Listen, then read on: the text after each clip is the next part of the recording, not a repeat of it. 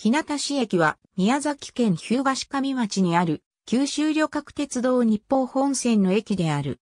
事務官コードは92万559。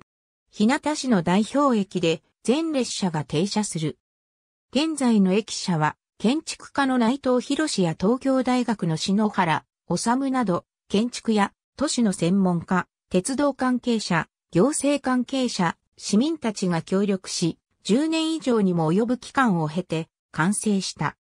地元から杉材の活用を強く要望されたため、杉を使用している。高架駅にもかかわらず、木造を思わせる作りになっており、高架下の駅本屋内部も杉を全面に押し出したデザインで統一されている。島式ホーム一面二線の高架駅で、ホームは比較的広い。エレベーターが設置されており、バリアフリー対応である。2008年9月、鉄道に関係する国際的なデザインコンテストのブルネル賞で最優秀賞を受賞した。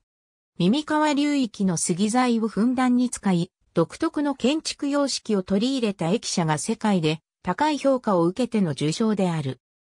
駅舎の最優秀賞受賞は日本初である。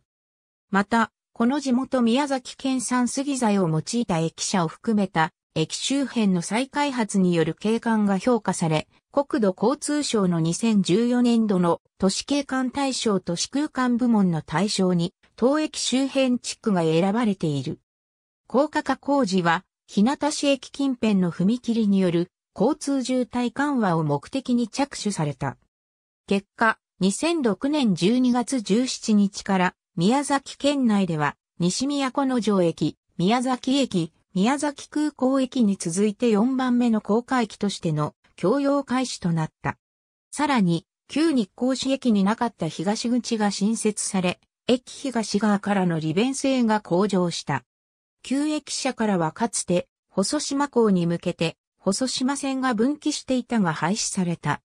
JR 九州サービスサポートが駅業務を行う業務委託駅で緑の窓口が設置されている。接近メロディーとして、ひょっとこ踊りのお囃子が流れる。宮崎県統計年間と統計ヒューガによると、2019年度の1日平均乗車人員は1330人である。近年の1日平均乗車人員の推移は以下の通り。市民参加によるイベントの開催や維持管理活動が行われている。これにより、市民や県内外からの来訪者の交流人口が増えているほか、同地区内の定住人口も増加傾向にある。東口前ロータリーに各社バスの発着する日向市駅東口停留所が設置されている。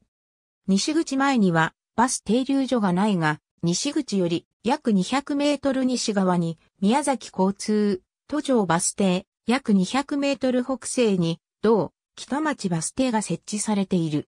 日向市より西側の山間部地域への宮崎交通バスは、上記のどの停留所からでも利用可能であるが、延岡、細島方面への宮崎交通バスは、日向市駅東口は経由しない。ありがとうございます。